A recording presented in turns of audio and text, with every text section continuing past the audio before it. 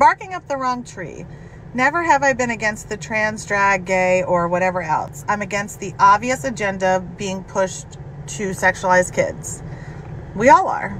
This commenter sent me a private message saying that they're trying to open my eyes to the, and I quote, pedophile ring using the trans and all of the LGBTQ community as a ticket to groom our children. Honey, it's not the trans and LGBTQ community that's grooming our children. That's been going on for years. And I'll tell you by who. Who is sexualizing our children? It's the media, friend. It's the media. It's not the 2% of our population that makes up the trans and LGBTQ community. It's the media. It's Hollywood. It's social media. It's fashion.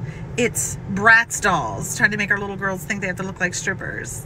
And more than that, it's corn. It's the access that our kids have to the internet. Those are the people who are sexualizing our children.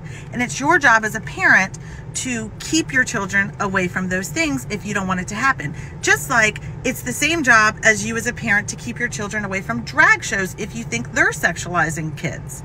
So if you're going to say that parents can't take their kids to drag shows, the government's going to say that, then the government also has to say, you can't let your kids watch R-rated movies at home. You can't let your kids listen to sexually explicit music. And the government does not have a right to do that.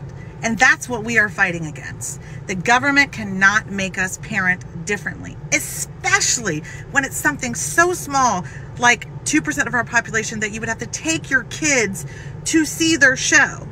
The bigger things are what's in your own home, your television and your phone and your iPad and your internet. You want to know who's sexually assaulting our children the most? Number one, heterosexual men, men who identify as straight. And also, number two, their friends, other kids their age. That's who they're most sexually assaulted by. You're raging war against the wrong people, okay? You should rage war against Hollywood and the media and internet access for children. Your time is not spent wisely fighting against less than 2% of our population that requires parents to have to take their kids there. Okay? They're not shoving it in their kids' faces parents are taking their kids there. So that's up to their parents. I might not agree, and I've never taken my kids to a drag show, but that doesn't mean other parents shouldn't, and you shouldn't decide for them.